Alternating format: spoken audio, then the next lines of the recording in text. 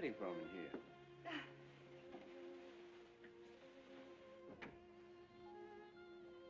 What are you up to? Well, why aren't you upstairs resting with the other girls? What is this, Scarlett? A secret? Oh, Ashley. Ashley. I love you. Scarlett. I love you, I do. Well, isn't it enough that you've gathered every other man's heart today? You've always had mine. You've got your teeth on it. Oh, don't tease me now. Have I your heart, my darling? I love you, I love you. You mustn't say such things. You'll hate me for hearing them. I could never hate you, and, and I know you must care about me. Or you do care, don't you? Yes. I care. Oh, can't we go away and forget we ever said these things?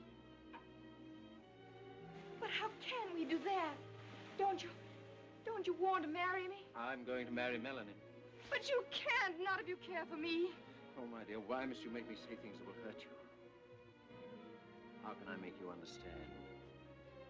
You're so young and unthinking. You don't know what marriage means. I know I love you and I want to be your wife. You don't love Melanie. She's like me, Scarlett. She's part of my blood and we understand each other. But you love me.